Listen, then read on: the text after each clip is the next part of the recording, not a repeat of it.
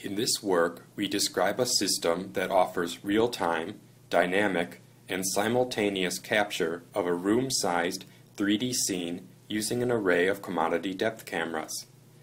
Our system offers improved image quality and reduced noise over previous systems with these capabilities. Our system supports 3D scene capture and novel view rendering with real-time or offline processing. This sequence was processed offline in high resolution at near real-time speeds. This sequence was captured and rendered in real time at a reduced resolution.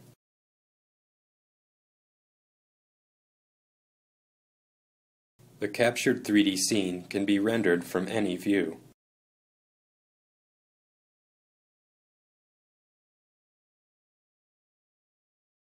The viewpoint can also be modified dynamically to match the perspective of a viewer looking into the scene, allowing for 3D telepresence applications. Our implementation, illustrated here, adapts existing volumetric data fusion techniques designed for a single moving depth camera, to an array of fixed cameras, allowing all objects in a room-sized scene to be updated simultaneously and dynamically.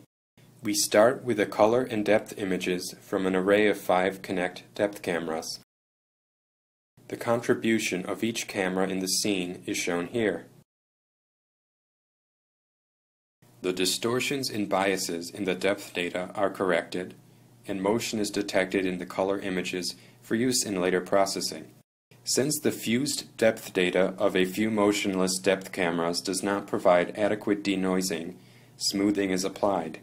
Small holes caused by interference between Kinects with overlapping views are also filled. Due to auto color balance, the colors between cameras do not match. We provide real-time color correction by comparing the colors seen at common surface points. We use both color and depth data to detect scene changes, allowing the accumulation of scene data to reduce noise while providing fast response to change.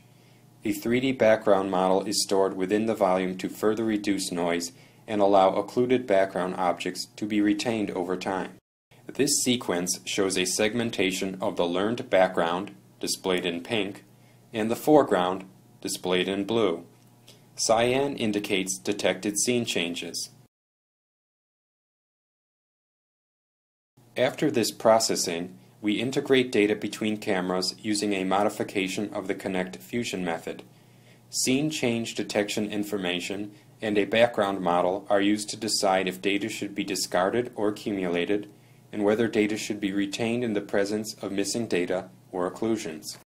We use the Kinect Fusion ray tracing approach to render a novel view that can be used for telepresence applications. Color is applied using voxel coloring, projective texturing, or both.